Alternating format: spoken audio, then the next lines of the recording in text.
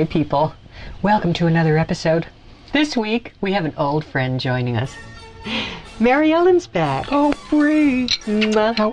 Mwah. you look. You haven't aged a bit. Neither have you. Thank you. Aren't you sweet? So, Mary Ellen, do you know any Hungarian? I know a Hungarian, but I don't know Hungarian. Okay. Well, that's not going to help us today. His name was Rolf. Rolf. Yes. That's quite a name. Well, that's not going to help us today because we're making Hungarian goulash. Food. You know, I came with an appetite, not Oh, a surprise. well, we're going to have some fun. Good. Now, you know, this recipe is very simple to make, and uh, we're going to start right now. So, now our first step is to put the oil in our skillet, and we're going to use the oil to brown our beef. So goulash is made with beef. Yes, that's traditional. I imagine you could make it with uh, some other uh, meat product of some kind, but we're going to make it with beef.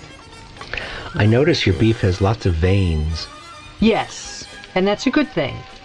It's uh, it's it's highly veined beef, and you don't want it to be too. Um, Highly veined beef. you don't want it to be too fatty. But, But the uh, veins do add a little taste, don't they? no, they do. Yes, and they and they uh, help tenderize the meat when you cook it. Now, what I've done. That's right. that's Already? right. Now, what I've done is I've coated this beef with flour, Mm-hmm. and that helps give uh, the gravy just a little bit of stability. She's browning the beef. That's right. The veined beef. That's right. So, Mary Ellen, what have you been up to? Well, actually, tell our fans. I've, I've just been enjoying life. I've moved uh, to the suburbs. Did you know that? I did know that. Yes, I moved to Connecticut. I, I've missed having you next door. I know, and I've missed being here too, but Connecticut is so much more. It's like having a whole state of breeze. All of my neighbors are just like you. Mm, That's very nice. All right, now, Yeah. once we've browned up our beef, it could be a little browner than this, but we can move ahead. It'll all happen in due time. We're going to add our onions. You mean you add the onions after, Mm-hmm. not before? Not before. Oh, that's interesting. Yes. Okay. So there we go.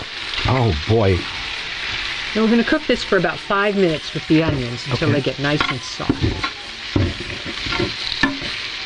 It's starting to smell good, isn't it? Oh, it- since the beginning you started to put it on, it was wonderful. Right. Ah. What have you been doing, Brini? I mean, I know you're getting all around. You're, you're just so famous and mm-hmm. popular. Well, we're doing lots of things, darling. One of the most exciting things is that we have a new product line. Yes. Yes, Felix Populi. You know, Felix Populi means happy people in Latin, roughly. I didn't know that. Mm-hmm. That's what the name's all about. So you dry your dishes with happy people. That's right, yes. With our dish towels. Oh, how pretty. Green. What a nice color. Isn't that fun? Really lovely. All right. So now once we've done that, our next step is to add our spices. And we're using What's that? that's a tablespoon of paprika. Oh. Now you know when they uh, when they cook in Hungary, they love their paprika. So much is I have a question. paprika in Hungary. Yes, darling. If the Hungarians eat this, what do the Romanians eat? And the Bulgarians? I don't know. We'd have to ask them. Maybe we could do a show on Bulgarian food. Bulgarian food. Okay. Maybe Bulgarians eat Bulgar wheat. Because Salt they and have pepper. no salt and pepper. And you had that premix. Yes. That's something you can have the children do ahead of time to keep them occupied and away from drugs. I suppose. All right. So our last ingredient is a cup and a half of beef stock. Beef stock. Yes. Actually, that's not our last ingredient. The last ingredient is always love. We're also using. Oh my, it's an enormous bay leaf. We're using a bay leaf and two whole cloves. There we go. We have to make sure we don't eat those though. That's not a good thing. No. When do you put the cheese in? Oh, there's no cheese in this particular recipe. No cheese? No cheese. No cheese in a No brini cheese, recipe? No cheese. My, you've advanced.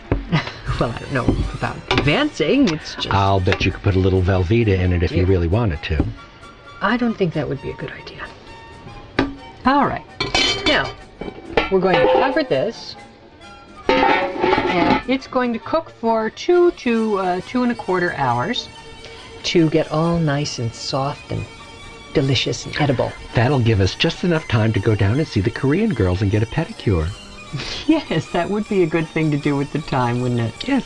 So we'll be right back with the results. Stay with us. And here it is. I know how exciting. Doesn't it look good? It looks wonderful. Now we made an advanced batch, so this is uh, the other one's still cooking back there, but this is uh, this is what it looks like when you're done.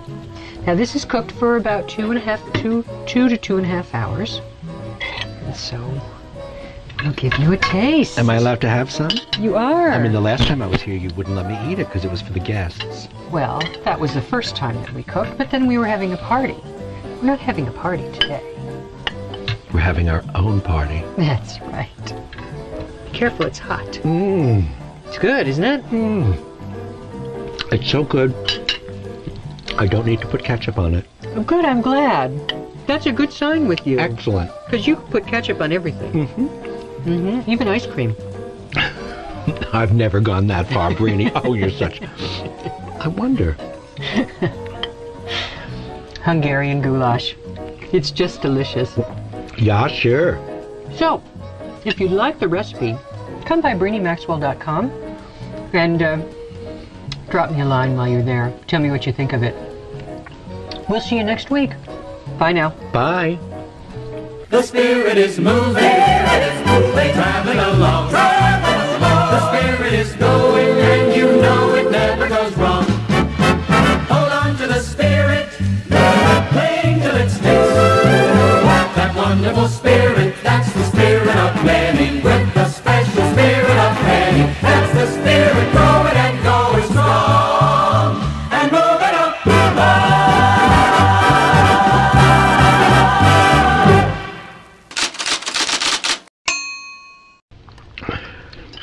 Nothing like goulash for breakfast. I'm sitting here eating and thinking, this is weird. It's 10 o'clock in the morning. All right. It is very good, though. Yeah, it came out well, didn't it? Uh, did you make it or did you order out? No, I made it. Oh. of course I made it. We just made it here. Silly girl.